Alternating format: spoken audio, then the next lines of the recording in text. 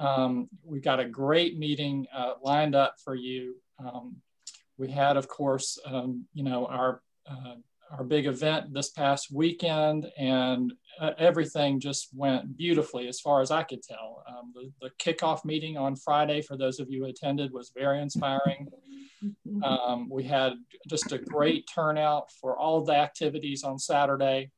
Um, the fundraiser was a lot of fun, and we met our fundraising goal um, Saturday evening. So we have a lot to celebrate um, later in the meeting. Um, and we're also later in the meeting going to um, have a Lester Woodall Society presentation. I always love those. Um, we've got an announcement of an upcoming social and, and a lot more. Um, but uh, today we are doing things just a little bit differently than usual.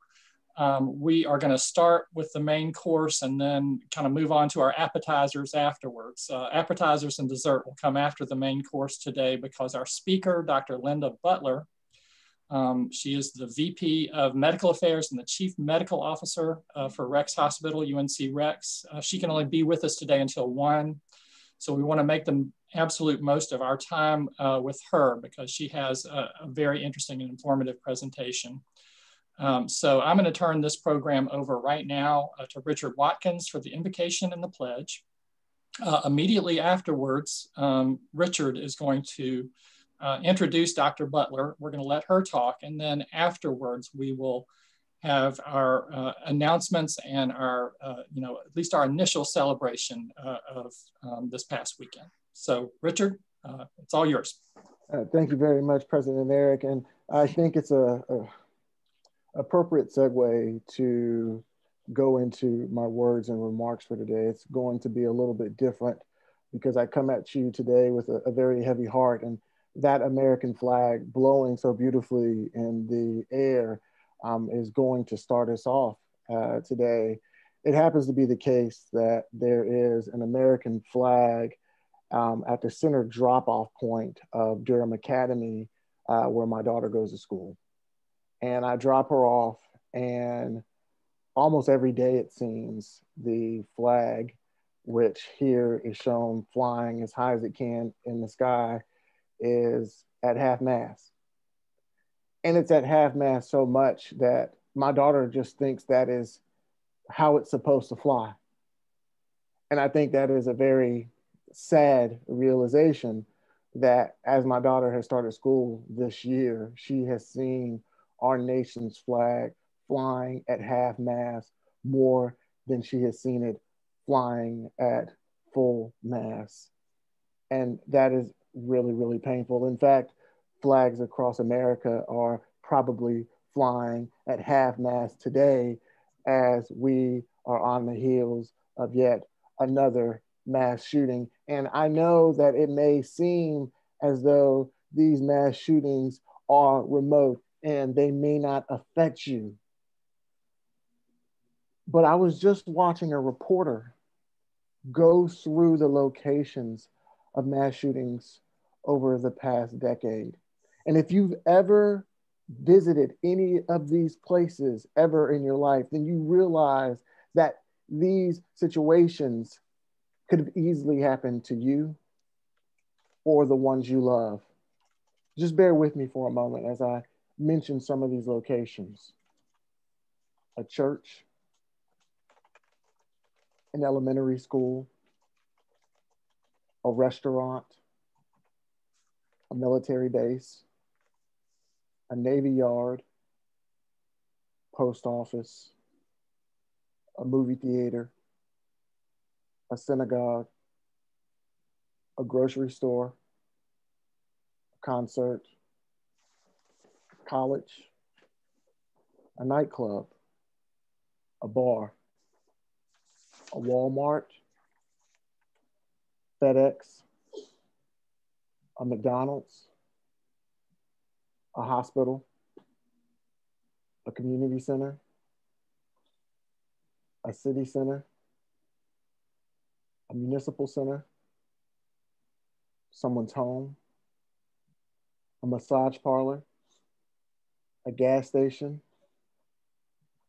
a festival, a hotel, an airport. Please, let's take a moment of silence.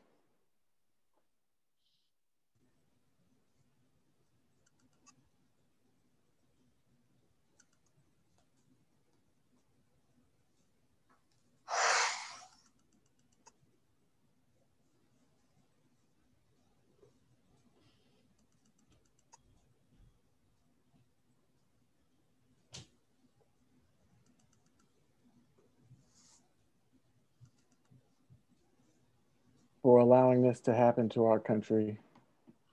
May God have mercy on us all. If you would please stand and join me now for our Pledge of Allegiance. I pledge allegiance to the flag of the United States of America and to the, and republic, to the republic, for which it stands, stands one, nation, nation, under God, under God indivisible, indivisible, with liberty and, and, and justice, justice for all. For all. Beautiful for spacious skies, for amber waves of grain, for purple mountain majesty above the fruited plain. America,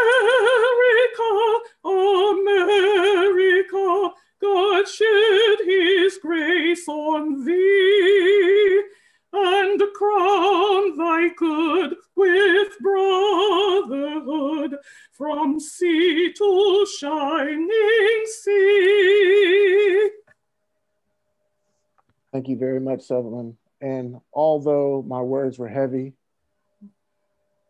and times seemed grim, there are individuals who are on the front line who wake up every single day to make this world a better place. And today's guest, today's speaker, is one of those individuals. Dr. Linda Butler is the Vice President of Medical Affairs and Chief Medical Officer at UNC Rex Healthcare in Raleigh.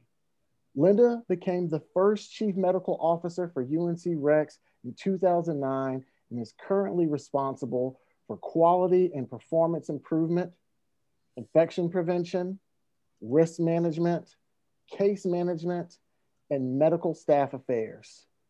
She also served as the Chief Medical Information Officer during their EPIC electronic medical record implementation in 2014.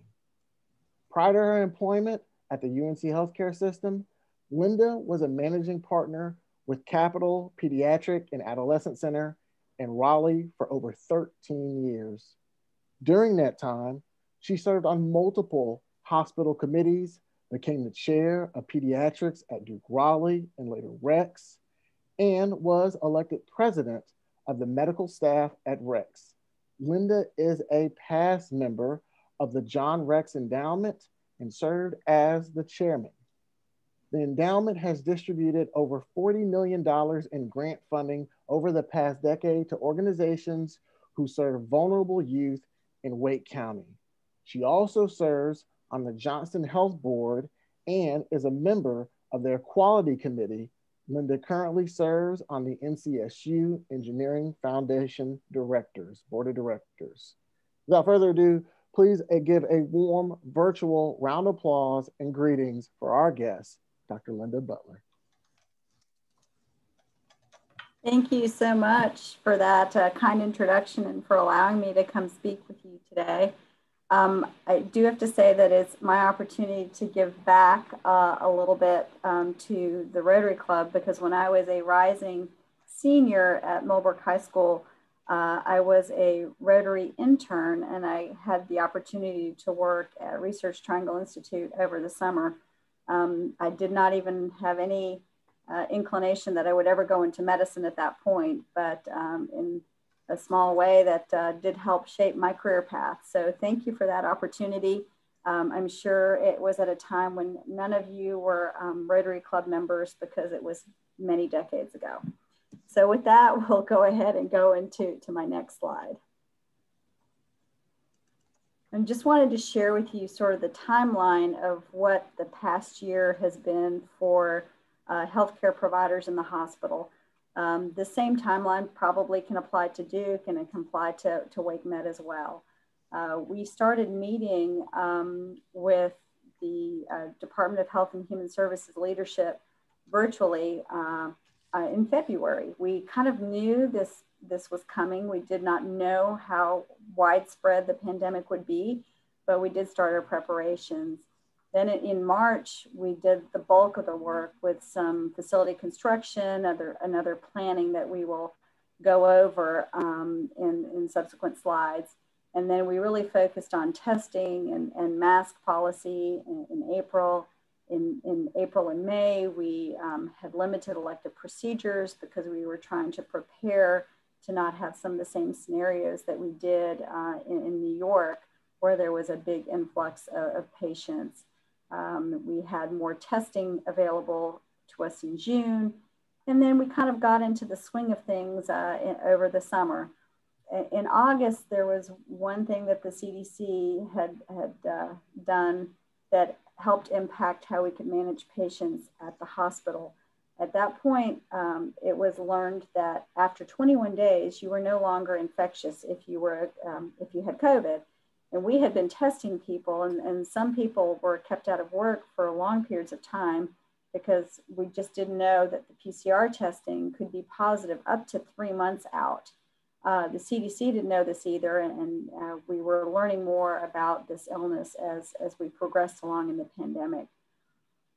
We kind of stayed steady over, over the fall. Then December, we were all so excited because the vaccines were available. We received vaccine, I think it was a Thursday morning, and by Thursday afternoon, we were administering it to coworkers. Um, we continued to do that, um, you know, and continue to this day, still vaccinating coworkers and the medical community. January and February was when we had sort of our hardest peak here at Rex, and uh, we had to change how we did business. Uh, but we also had another um, hopeful thing happen. We were able to start providing monoclonal antibodies to patients. And this is an infusion that you can give um, if you have COVID and you're early enough in your illness. It's kind of like, like Tamiflu is for the flu you can um, do this infusion. And we kept many people out of the hospital um, thanks to, to those, those drugs.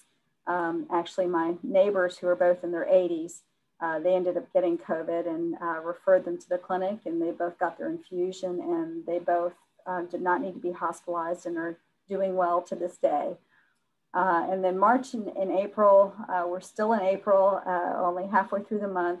Uh, we are trying to kind of get back to business as usual. Um, we're going to try and loosen visitor restrictions and maybe back off on, on some testing. Next slide.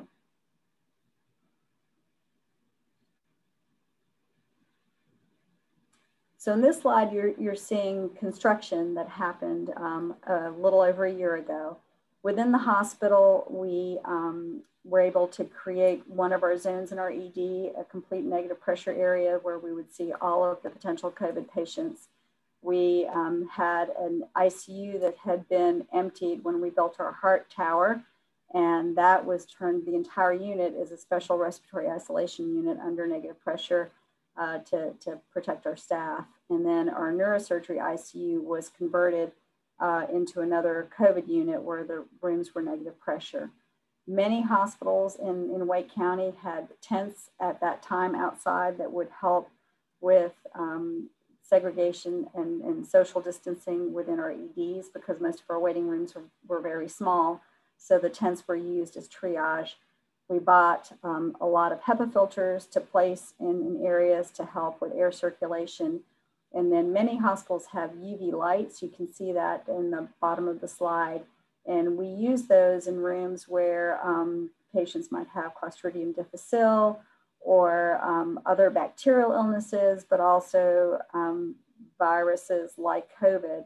When that patient is discharged, the UV light is brought in to sterilize everything that's in that room. And then our EVS staff goes in and, and does an additional cleaning.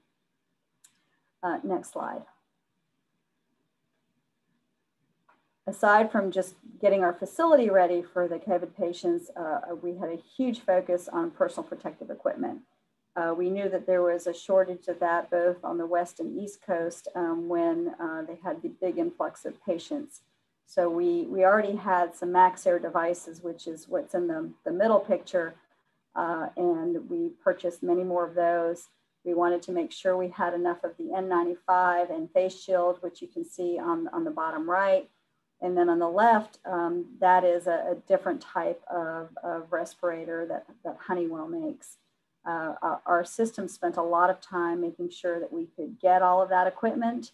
And we also looked at stewardship. So we are used to kind of being a disposable society. You would use your mask and you would throw it away. At one point, those of us that were not at the bedside, we would wear uh, a mask for a week at a time to make sure that we had enough masks for our bedside caregivers. And then as we were able to purchase more, we ended up going to a mask a day. The MaxAir face shields um, were reused. They could be wiped down. That way we could get three or four days or even sometimes a week out of a shield. And then NC State partnered with us to produce more of these shields. Uh, we also took the N95 masks and um, they went underwent a hydrogen steam uh, sterilization over at the medical center, and they are right now being stored in the event that we have uh, another pandemic that comes in, and then we can reuse those. Thankfully, with um, all of the donations that we had and uh, what our supply chain was able to procure, we uh, didn't have to go that route, but they're there in case we, we need them. At this point, we also had to limit visitation uh, because we were worried, number one, what could visitors bring into the organization? But number two, they would need a mask, they would need the gowns, they would need all the equipment that our staff were worried that was going to be a shortage. So anybody who is in isolation, they were not allowed to have visitors. We would do FaceTime um, talk on the phone, things like that. But it was a way that we could make sure that we could protect the patients who were here in the hospital as well as our staff. Next slide. The testing, um, testing was a little bit of a challenge for us. Uh, at first, the CDC uh, was the only place where you could actually test for coronavirus. And it took a week so you can imagine being admitted to the hospital and then it takes a week for you to find out if you actually had COVID or not. Uh, thankfully, then our state lab, which is in the center, was able to run the test, and, and that was, you know, a, a two or two to four day turnaround time. So not as bad as a week, but definitely not ideal. Then Dr. Melissa Miller, she's in the upper left of the slide. Uh, her team developed a um, PCR test that was at UNC and she was able to turn it around in, in 12 hours um, or so. Uh, when they weren't running night shift, it was up to 24 hours. But that really was a kind of a game changer for us. And then we had uh, the Hologic Panther um, machine, which you can see with the Panther on it in the bottom right. Uh, when they started developing uh, reagent and, and test kits for us, we could then now start testing for coronavirus in-house. And that lab machine has a four to six hour turnaround time. And then the Cepheid cartridge on the left, we can do a quick 45 minute um, as COVID test if we needed it uh, as patients come in.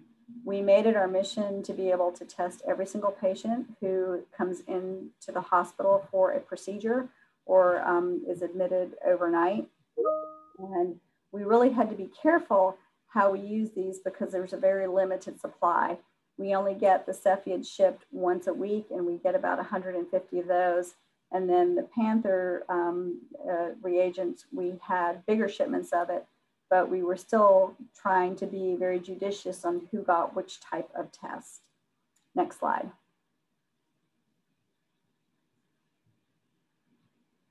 we were fortunate that our um, enterprise analytics data sciences group spent a lot of time getting us kind of cool predictive models and dashboards so we could prepare. On this slide, you can see the, the three purple lines. The top line is the upper confidence interval. The middle purple line is kind of where they predicted we would be. And then the bottom is one standard deviation below. And this allowed us to kind of see what was coming our way. So we prepared for a surge of 130 patients in January. thankfully the blue line was where we were. So when we um, were at our peak, we had 93 COVID patients in house. So that was about 25% of our patients were COVID patients. Um, and this model was done based on, um, you know, holidays impacted transmission, whatever the R naught was, how infectious the different strains are, like the UK strain seems to spread a little faster than the original strain. All of that data is put into these models and then it kind of helps you predict. So you can see that by the middle of May, we should hopefully have 10 or fewer uh, COVID patients in house. Um, right now, today, we have um, 16 COVID patients in house. Five of them are in our ICU, 11 are on a regular acute care floor. Um, next slide. We have this COVID dashboard. So I, I did this last week when I uh, did the presentation. So you can see that we've had about 1,700 COVID patients in house total. Uh, last week we had 18 um, that were in house. And then we have um, on the left hand slide of the slide, you can see the previous positive count, that was four. And what that previous positive means, those are people who are who have been here more than 21 days. So we are still treating them for COVID. They're still very sick, but they're no longer infectious or contagious to our staff. So we can move them out of one of the COVID units and into a regular ICU. Our average length of stay for most patients is about four, four and a half days. But um, with COVID patients, it's more like eight and a half to nine days. And at the bottom right of the slide, you can see that we had 39 patients who spent more than 40 days in the hospital. Um, these patients are really, really sick and they require a lot of resources. Next slide. Um, this is actually our, our demographic slide that we did not really have access to this type of data before. And our analytics team really has worked hard to make sure that we're tracking outcomes uh, based on not just people's age or gender, but also their race. Overall, um, we have had about 160 patients die at Rex with COVID. Um, our mortality index, which is what we uh, or observed mortalities over our expected is 0.84. So that means less people passed away than what you would have predicted based on how sick they were, which was good, but still 160 is a large number and our staff are, are traumatized every time they have to witness somebody passing away with this. And they're, they're very fatigued because our staff has, has had to work quite a bit of overtime to keep up with these volumes as well. Next slide. This is um, our vaccination slide. So the UNC healthcare system has 14 uh, different sites across the state, um, going from Hendersonville in the west to um, Onslow in the east. We've vaccinated about 150,000 people now um, and continuing to, to do more.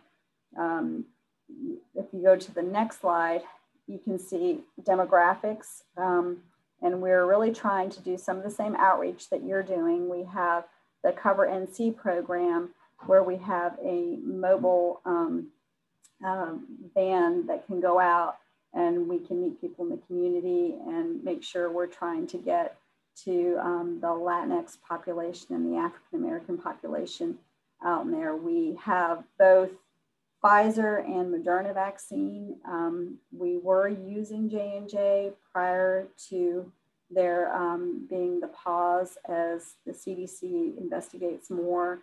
Um, the, the challenge with the J&J vaccine uh, was that they found six individuals who had blood clots. But when you look at the number of people who we vaccinated, it was close to 7 million um, it really was a, a very, very um, rare um, complication that you saw, and it would be blood clots in either lungs, uh, your leg, or um, there was a, um, one that was a cerebral uh, venous um, thrombosis. And the challenge with this is if a doctor were to treat blood clots ordinarily, you give heparin, and that would be detrimental in this particular reaction, which is more autoimmune mediated, you treat it with different drugs. So the CDC pause was really more to educate all of the providers in the emergency departments to know that if somebody had gotten J&J vaccine uh, about one to three weeks out, if they come complaining about a headache, shortness of breath, um, pain in their legs or in their abdomen, that they might have this particular type of blood clot and not to give heparin uh, to do immunoglobulin or another treatment course. Um, but overall, I would much rather take my chances of being the one in a million or more that might have a problem than be somebody who gets COVID because even if you're relatively young or healthy or you don't have any comorbidities, we still have seen people pass away um, with COVID. So I think the vaccine is a much safer bet. If you go to the next slide. Um, I just wanted to reassure you that while we were taking care of COVID patients, we were taking care of all of our other patients as well. And we um, you know, had business as usual. And we were able to go ahead and, and get uh, some of these other uh, awards and accolades. We got our fourth magnet designation. Uh, we were reaccredited by the Joint Commission. Um, we were um, five star for CMS for quality, not only in our hospital, but in our two skilled nursing facilities. Um, and I think next week we'll uh, have the, the um, um, press release that we got another Leapfrog A, where I think one of 27 hospitals who are Leapfrog A and CMS five star and magnet accredited across the country. And that's of over 5,000 hospitals. We got the um, Watson top 50 cardiovascular hospitals, and we were the best hospital in North Carolina according to um, Business Magazine. Next slide. Um, we're also continuing to expand and grow. This is a picture of uh, UNC Rex Holly Springs, which will open September of this year. And I didn't include a picture of our cancer center. It's not as far along in construction, but it's right across the street from Rex, and that will open up at the end of December. So we're continuing to grow to meet the needs of Wake and surrounding counties. Um, and next slide. I do want to thank the community for a lot of the um, outreach and donations that they've uh, done for us. Uh, we got lots of supplies at the beginning of the pandemic, and we continue to get care packages um, from you know just community citizens as well as businesses. Uh, Burt's Bees uh, donated a lot of um, their products to us. And, you know, who doesn't love Krispy Kreme? Um, don't eat too much of it or you'll end up in our heart hospital. But we've got to have a donut every now and then. And then Coyote donated um, masks as well as uh, one of their vehicles, which really excited our protective services group to have um, a brand new vehicle in there. But we thank uh, everybody for their support and their well wishes. It meant a lot to our staff. And I think that's kind of where I, am going to end so that you guys can ask me any questions. Uh, Dr. Butler, absolutely fantastic presentation. And also, I saw mention in the chat uh, that you're also a, a, nuclear engineer. And so we're also very excited to be talking to you today and all of your accomplishments. I really appreciate it. I had a question regarding uh, some of the mortality data that you showed on there. And forgive me if I misinterpreted. I tried to take a, a mental snapshot. Um, but the mortality rate for whites was higher than I expected it to be. Tell me a little bit about why that number was was was particularly high. I don't think they were the highest group. I think the mortality rate for Native Americans was the highest, but uh, for white Americans, that actually caught me off guard. Could you talk about that? Yeah, um, it, it, depends on which area you're, you're looking in the country as to the mortality rates. I think what um, what we see here is age was probably the greatest predictor of your mortality. And uh, we had a lot of residents at skilled nursing facilities initially that ended up coming into the hospital. And we had um, kind of sad stories of moms and, and their, their siblings, with mom being 90 and, and, and the, the children being in their 60s passing away. Um, and as we learned more through the pandemic, we were able to um, treat people more efficiently and, and uh, we had more drugs at our disposal as well. So um, it was really more a, a, breakdown of age, whether they were diabetic, what their BMI was.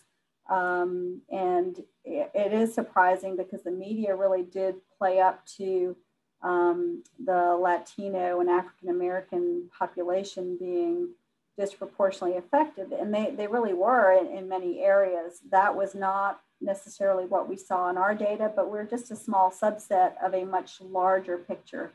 Um, for us, the Native American um, number looked larger because we had only a few, um, a few patients. So, um, you know, we're continuing to learn about this illness as it goes along, uh, but really age is, is what really puts you at most risk. And it's why the um, Department of Health and Human Services started out saying that the vaccine really needs to be given to people 65 and up. Great. You have time for uh, two more questions. It is one o'clock. Sure. Okay, sure. so this question um, comes from President Eric Stevens. Um, have you noticed any changes or any change in the demographics and age of patients hospitalized with COVID since the vaccines have become available? Um, you know, that's a great question. I haven't looked at our specific data. I think that overall our, um, our number of patients have come down, which was great. Um, some of that is because there was such a great um, push for those who were 65 and up to get vaccinated early on. Um, also, unfortunately, a significant portion of that population did pass away. So, you, know, they, they won't get it a second time. Um, I, I, think right now we are still seeing older individuals, but not as many as there were before. And I'd have to run another report to see kind of where the averages are now. All right, so the next question uh, came to me as a direct message, so I will respect uh, the request for anonymity here.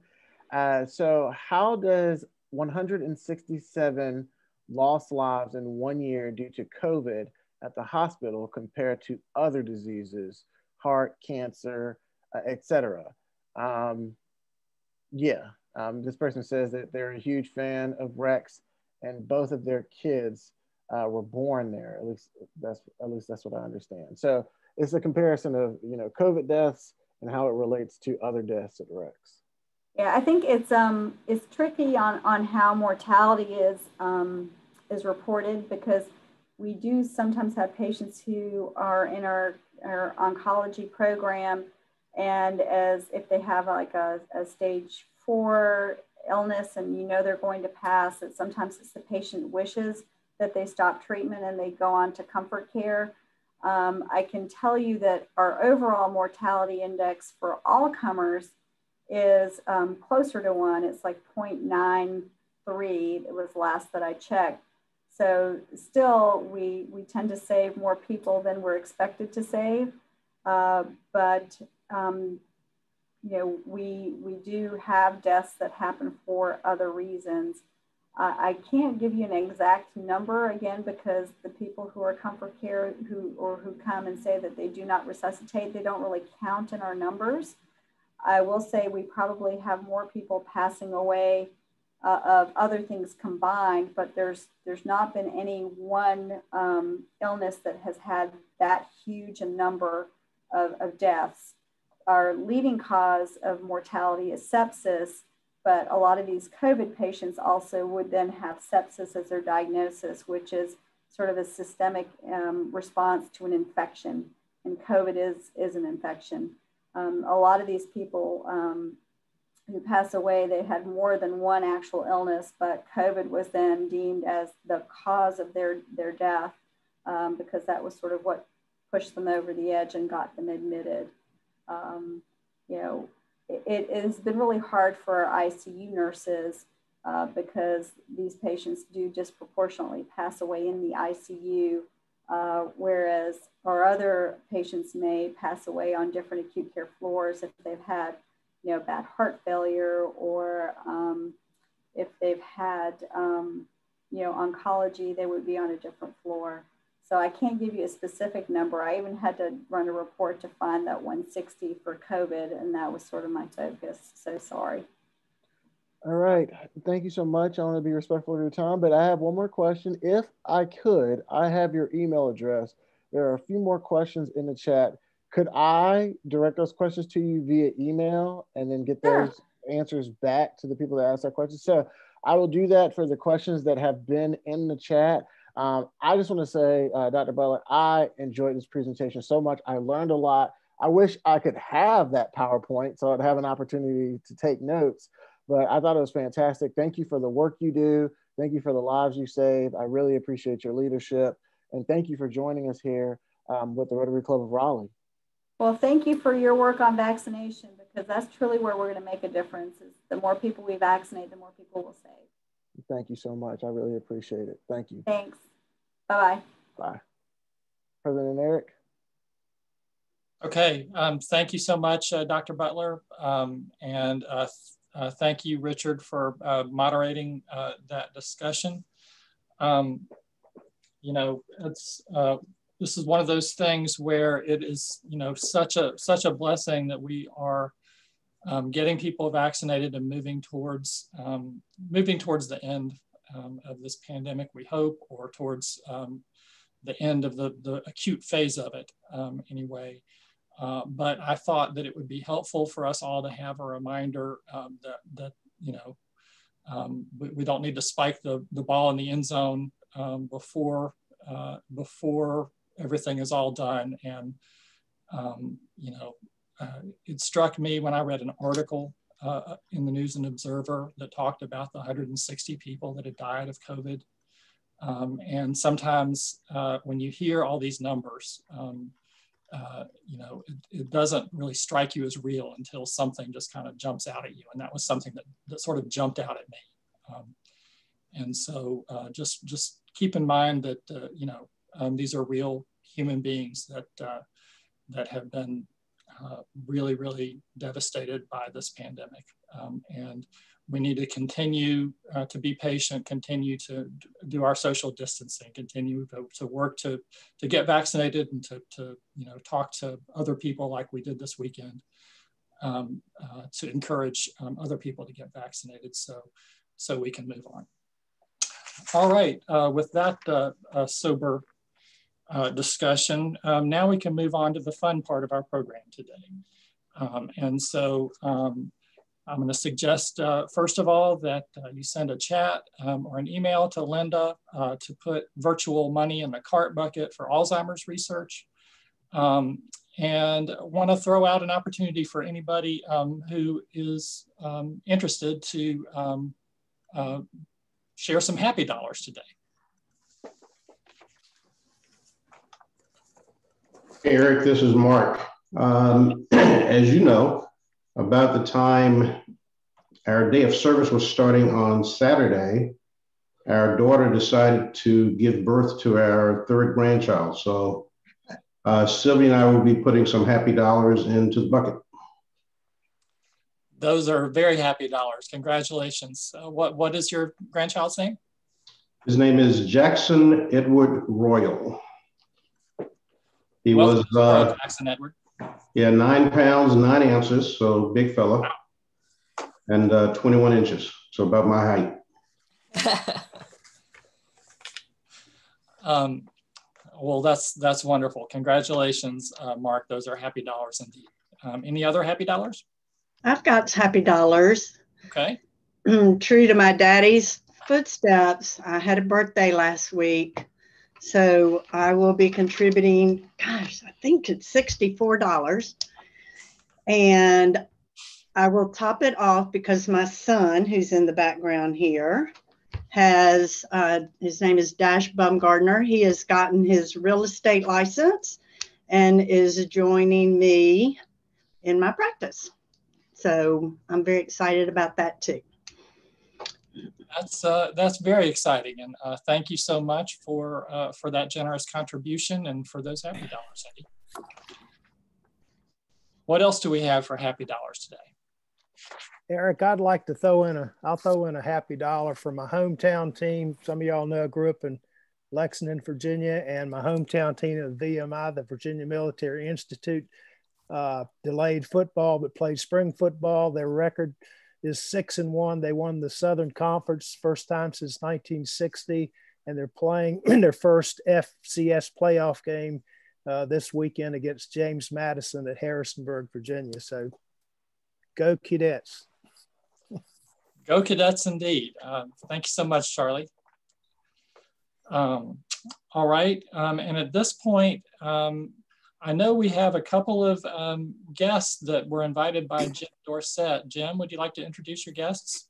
Yes, thank you, President Eric. Well, uh, due to COVID, I had not met um, two of our newest Smith Anderson associates until uh, Saturday uh, because uh, Dewey Bennett and Philip Romer uh, volunteered to participate in the Rotary Day of Service uh, as you know, Smith Anderson was a sponsor, and we were assigned the cleanup of Roberts Park, uh, a, a wonderful park that I was not familiar with. But uh, Dewey and Philip uh, came to the to the event, and uh, uh, Philip brought his son and daughter with him, and they were extremely able park rangers. I would say uh, did a did a fantastic job, and I detected that heart for service that we uh, look for in Rotary members, and so I invited them to attend our meeting to sort of check us out. And uh, so, just a little bit about them. Dewey Bennett is from Raleigh. Uh, he was an Eagle Scout. Uh, he attended UNCW, where he was a cum laude graduate. He went to UNC Law School and graduated with honors. He practiced in New York for a number of years, representing banks and financial institutions. And uh, he loves snowboarding and animals. Uh, and fortunately for us, uh, he's moved to Raleigh and joined Smith Anderson uh, in our venture capital uh, financial institutions practice. And Philip Romer um, uh, grew up in Nebraska, attended University of Nebraska, but he came to North Carolina for law school, went to Duke, and then he practiced in Boston and he became uh, assistant general counsel for Pacific Western Bank. Uh, Philip is a father and uh, he's very active in Y guides and sports. Um, and he's also um, with Smith Anderson in our financial institutions practice. So I'm very pleased to introduce both of them uh, to uh, the members of the club and and to introduce them to Rotary. And I hope they've enjoyed the program today with Dr. Butler. Uh, wonderful, interesting program. Great. Uh, thank you so much, Jim. Uh, welcome, uh, Dewey and Philip. Uh, Philip, uh, I was a Y Guides and sports dad for, for years and years, and um, it was a lot, awful lot of fun, but I can also tell you that you got through it. yeah. um, all right, guys, um, let's move on. And at this point, um, I think there was a little something that happened this weekend. So I was hoping that maybe um, we can ask um, uh, Alex to start off by talking about the fundraiser. Hey guys, um, so I just, um, quick update. I don't have final tallies, but I just wanted to say thank you again to everybody um, that came out. We had a blast um, and definitely had some um, interesting pairings with uh, the wine and the Girl Scout cookies. Um, so we had a great time. So again, just want to say thank you to everybody. Um, I'm hoping that I'll have a final tally for you guys soon, hopefully at next week's meeting. Um, but I feel fairly confident in saying that we surpassed our $7,000 fundraising goal. So once again, thank you all, and I'll have updated numbers for you soon. All right. Uh, thanks a lot, Alex. That was, um, as always, a very fun time. Um, we had some great wine pairings, and the Prosecco and lemonade combination was delicious. Um, all right, and now uh, we can move on to um, Gina and uh, Mark, if you want to talk uh, more generally about the day of service. Yes. Hello, everyone. Um, I'm sure Mark is is pretty pretty tired because having a new grandson uh, that's really exciting. Congrats to you and Sylvia. Um, I know that I definitely did not have a grandson this weekend, but I am super super tired, um, and that's because we had an epic day of service. So, one, before I talk about the day of service, and I am pulling all the energy I can, I'm having my third cup of coffee today uh, because I would rather be taking a nap. But I want to thank our sponsors um, and our generous donations from uh, different members of our club and members in the district. So, without your help, we could not have exceeded our $7,000 goal. So, I do have an estimate of like 7,400. Um, we will get those final numbers to you, but you know, truly, if you think about it today or, or, this past weekend was the first time the district um, did a day of service district wide and they tasked our club with um, promoting this event and spearheading it and that in itself um, one is a great honor um, but two is, is of course you know a, a huge undertaking and then thinking about that during a pandemic um, makes it very very difficult. So it was very kind of decentralized. Um, i went to the numbers on our sign up genius and alex and i combined sent over close to 500 emails to volunteers just through sign up genius alone. So thinking about that type of communication um, is is just was a lot of work. Um, but thinking about um, we did in-person events and donation sites and then we had a fundraising component. So there was a lot going on and we have some great organizations that we will be donating um, the $7000 to. But again thank you so much to the members as well as our corporate sponsors for participating. So next slide and just to kind of throw some organizations at you. Um, we had on Saturday over 150 volunteers district wide um, and over 30 to 35 different or uh, part or different um, service projects going on.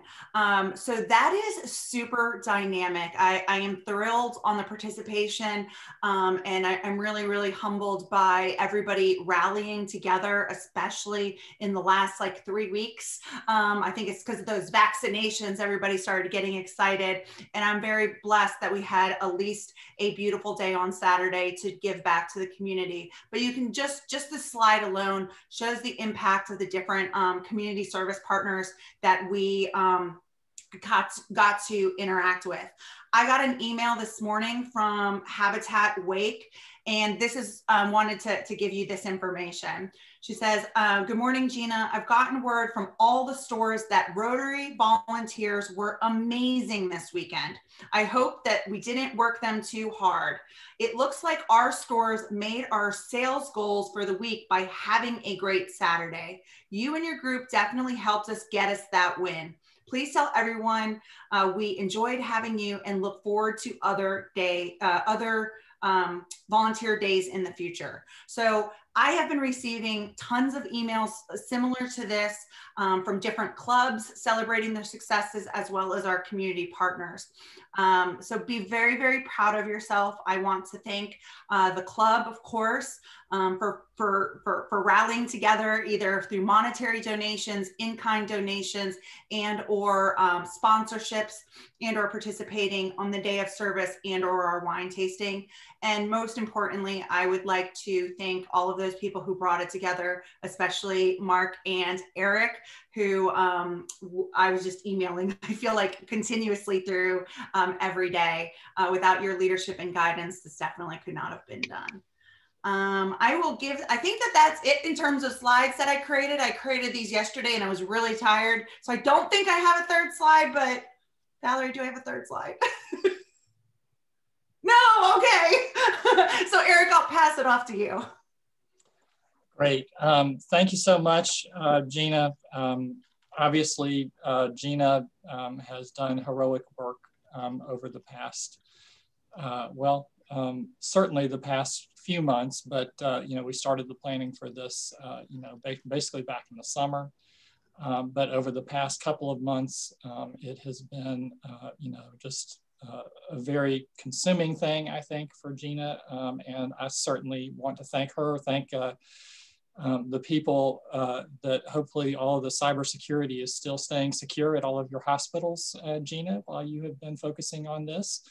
Um, I'm sure you have managed to, to multitask and, and keep everybody taken care of, but um, uh, I know how much work uh, I've been able to see more behind the scenes than some other folks, uh, what, what you've done to, to make this all happen and to, you know, a lot of those people showing up has to do with you sending out all of those very good reminder emails um, and, uh, you know, uh, looking at some of the, the lists of people who were um, going to volunteer two weeks out, a week out, um, you know, the, the numbers weren't nearly as full as they ended up on the last day. And there was a lot of work done by you and lots of people um, to, to kind of uh, make all that happen. So um, you know, I couldn't be more proud to, to be um, a Rotarian um, this Monday, and I really do thank um, all of you and all everyone in the club. Um, I really thank Mark for um, you know all of your wisdom and guidance, um, and uh, you know uh,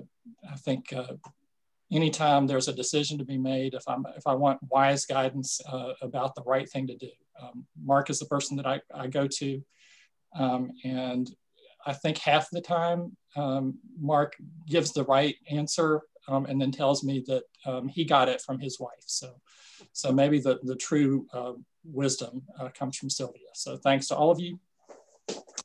Um, and uh, now uh, I'd like to turn this over to Eric Larson um, to thank uh, uh, our three newest Lester Woodall Society members. Absolutely. Thank you, President Eric. I, I, feel like piling on on the Mark Hackett fan club. I've known Mark for 30 or 40 years, and he has provided wise counsel to me in a, a number of modes. And so I, I, concur totally with those comments. And congratulations to Mark and to Gina and to Alex on, on a successful program and all the people that supported them as well. Uh, one of the things we say about Rotary is Rotary means service, and certainly service is the work of your hands that we've been talking about but also sharing of your assets. And that's where the Club Foundation and the Rotary International Foundation come into play.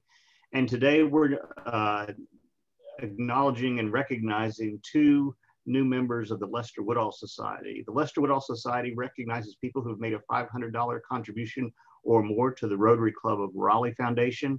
Lester Woodall, those of us who knew him uh, in person, uh, he, he went by the name of Woody Woodall.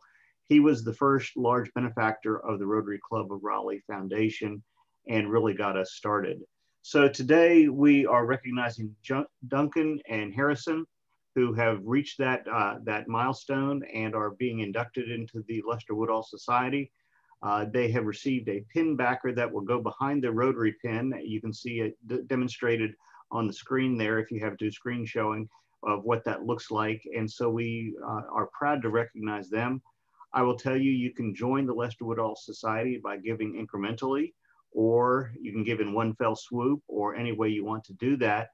Uh, I would put a couple of thoughts into your mind. Number one, should you be receiving a tax refund this year, it would be really great to just turn that into a donation to the Rotary Club of Raleigh Foundation and pass that on. It immediately becomes a tax deduction for you for the next year.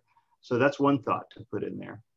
The other thought is a lot of companies, when you join them, they write or they provide to you as part of your employee benefits a relatively modest life insurance policy, usually around $10,000 or something like that. Even sometimes when you join a credit union, they'll uh, give you that, that benefit. Wouldn't it be interesting to designate the Rotary Club of Raleigh Foundation as the beneficiary of that? If you do any of those things, let Linda or myself know, and we will certainly pass on the recognition if you wish it to be uh, provided. But uh, we had our meeting about the Rotary Club of Raleigh Foundation and the Rotary International Foundation with Carl a few weeks ago. And our challenge to the club was we'd love to see half the people in the club do some sort of out of cycle contribution to those funds. So those are just a couple of creative thoughts. But back to the purpose of today, Duncan and Harrison, we are really pleased to in, in, induct you into the Lester Woodall Society.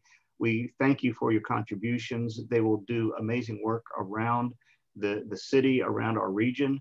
Uh, a quick story Carrie was telling me about uh, working at the Healing Place or the Healing Transitions this weekend.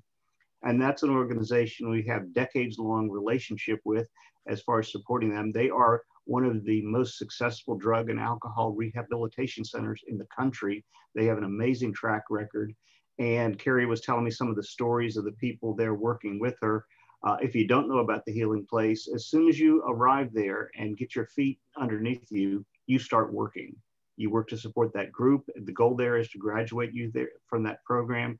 And they have a phenomenal success rate that is the envy of most places that you would spend hundreds of thousands of dollars at to, to send a family member to. So we're, we are investing good programs around the, the city, around our region, and it's made possible by people like Duncan and Harrison, who we are recognizing today.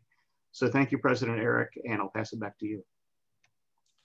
Thank you so much. And uh, we really do appreciate those donations. So um, Duncan, Surrey, um, Harrison, uh, we really do appreciate uh, uh this. And uh, thank you to Eric um, and uh, the members of Eric's committee for all of their good work determining the best way to put that money to, to, to use. All right, um, at this point, I'm not sure if we have a slide for this, but um, we do have a fun announcement uh, from Christy Santacana. Uh, Christy? All right. Um, yeah, sorry, I did add this on last minute, so I don't have a slide here, but wanted to give y'all an update on our social for this month. We are going to do it in person as the plan. So uh, I know we've been doing the virtual socials for over a year now. Our, our last in-person social was February of 2020. So um, Thursday, April 29th at 5.30 p.m. Um, we're going to plan on meeting at Lynwood Brewing Concern. Uh, we were there a couple years ago as well. It's at 1053 East Whitaker Mill Road in the loading dock complex. Uh, picked this place. This has a really large outdoor space um, with a big patio and then a kind of a side yard with tons of picnic tables. So I think it'll be a great spot to uh, dip our toes in the water with an in-person event and uh, could be nice and socially distanced. Uh, they have some great beer varieties as well as wine. It's connected to Wilson's next door if you prefer cocktails. So uh, we'll have Linda send out an Evite. We're going to try to get an estimated head count. I know we usually don't do that, but uh, just uh, since things are a little different now, uh, we want to know if we should um, try to reserve a couple picnic tables or something. So uh, Linda will get that sent out. And um, we hope you guys can join us if you feel comfortable meeting in person, uh, 5.30 on April 29th. So, um, oh, and if there's any rain weather issues, then we'll keep you posted on any changes. And um, we'd love for guests to attend. So uh, Philip and Dewey and anybody else that would like to uh, come, we'll pass along that invitation too. All right, thank you so much, uh, Christy. It's been a long time since uh, the, since we have been able to gather together and uh, drink a beer and um, have a nice social time. Uh, so, uh, so glad that um, we get to get back to that. So please uh, look for the sign up genius and let's sign up and fill up those picnic tables. Um, next, I was going to ask Bill McLaurin if you are interested uh, and giving us a, a, quick report about the Peace Fellow graduation that happened a couple of weekends ago. Um, I was going to ask you to do that last week and we ran out of time. Well, I'd be happy to speak a little bit about that. I, I attended virtually this year, which was uh, Saturday a week ago. And it happens uh, every year. And I've been to several in person and I got to say that the real thing is better, but uh, they did a good job with this year. And I heard from uh, some of the students from Ethiopia, Malawi, Australia, Mexico, Canada, and Colombia. Uh, I was only able to attend about two thirds of the presentations um, as I had a conflict in the afternoon. But uh, they are all finishing a master's degree program at Duke or UNC in public health, international law, and other disciplines. And they are also taking courses together associated with the Peace Center. Um, next April, they'll, we'll have another one. It will be uh, probably at UNC, but once in a while they have them at Duke. Um, and I hope that more people will go and just take a look at uh, what we're sponsoring as Rotarians um, in our own district, uh, but Rotarians around the world support this Peace Center at Duke and UNC. Uh, one presentation that I thought was interesting um, because I ha- haven't heard this uh, presentation on this before, but it was about unsolicited donations when uh, when we have a natural disaster or something somewhere in the world. A lot of people just send things, hoping that or thinking that these things might be clothes or uh, some type of, equipment, but they'll send it without checking to see if it's needed. And the cost of unsolicited donations uh, turns out are multi millions of dollars a year that people donate that are not used and actually become a problem for the nonprofit just what to do with a lot of lot of things that are un, totally unsolicited so the uh, the the person who made this presentation encourages everyone to check with the nonprofit that you're trying to support and make sure that what you're sending is usable for them and that they won't have to find another way to get rid of something that you sent. So uh, I thought that was an interesting take on natural disasters. Anyway, uh, I hope more people will go to the Peace Center in April. And there's always opportunities every end of every summer to uh, be a counselor for one of the peace centers that's incoming. And we have 10 per year that uh, uh, come to North Carolina to join the Peace Center and we can interact with them. We're the only district in the United States that has a peace center. So we're very fortunate and I hope that we will take advantage of it. Thank you. Thank you so much, Bill. Uh, and those of us who participated in the uh, kickoff meeting on Friday got to hear from one of uh, the Peace Fellows, uh, Gabriel Bernardo da Silva from Brazil. And, uh, you know, I found that to be a, a tremendously inspiring uh, presentation. Um, and you, you, realize just, you know, what a, um, you know, what a wonderful group of people um, they brought together there um, at uh, you know the Duke UNC um, Peace Center, basically just to train them to go out and and you know in concentrated doses do what they do to make the world a better place. So um, you know it's a great great um, thing that we have right here in our backyard. all right, next next week uh, we are going to have the winners of our four-way test um, contest that we, we do every year with Martin Middle School. Um, so please join us back here uh, next week for that.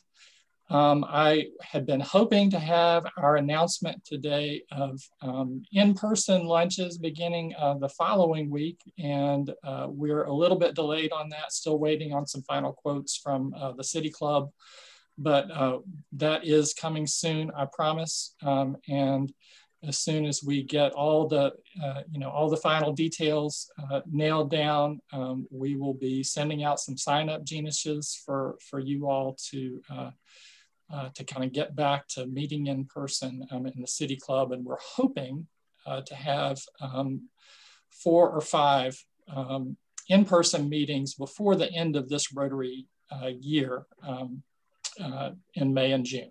Um, and then uh, and then I'll leave it to Charles Edwards uh, uh, on the planning for next year. We do have uh, some birthdays and anniversaries to celebrate. Uh, happy birthday to uh, our member, um, NC State Chancellor Randy Woodson. Um, April 20th is his birthday tomorrow, so happy birthday, Randy. Um, and happy anniversary to Lee and Cynthia Hammond. Um, I believe what I see there is that's their 64th wedding anniversary. Could that be right? Um, and happy uh, um, anniversary to um, Duncan and Ashley Jennings. Um, so I uh, hope uh, you, you, guys have a, a, wonderful and amazing celebration. Um, and uh, it was great to see everybody today. Thank you for joining us. We will close now with the four-way test. of the things we think, say, and do first. Is, is it the truth? truth? Second, is it fair? Is it fair to all concerned? Third, will it, will it build goodwill? Better, better friendships? And fourth, will it be, will it be beneficial to all concerned? We are adjourned. R O T A R Y. That spells Rotary. Very good. Bye, everyone. Have a good day. Bye.